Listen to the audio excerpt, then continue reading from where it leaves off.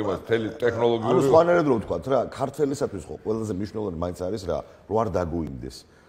ანუ ზუსტად იცოდეს ნუ ეს პერიფერიული სიმპტომია რომ ანუ უნიშნელოვანესია რომ მარგინალად არ ჩათვალოს სადმე ისეთ ადგილზე დადგეს რომ აი თავი არ მოეჭრას მოკლედ თავი მომენტი ეს არის. აქედან გამომდინარე ძალიან მნიშვნელოვანია.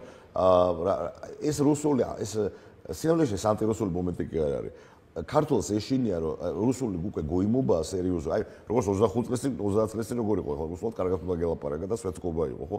დღეს რუსული გოიმობაა, ინგლისური არის უკვე სვეცკობა.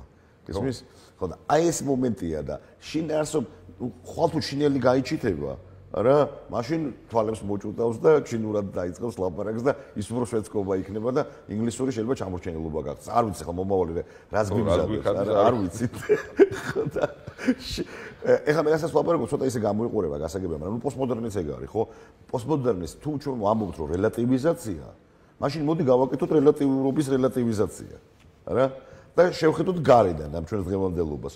როგორც როგორც მაგალითად დასავლელი უყურებს უყურებდა ესეთი ცივილიზებული ადამიანი პირველ ყოფილ ადამიანს, ხო? მოდი ახლა ჩვენ შევხედოთ ეგრეთ წოდებულ ცივილიზაციულ ცივილიზებულ ადამიანს გარედან. და მაშინ აი ესეთ რაღაცას დავინახავთ.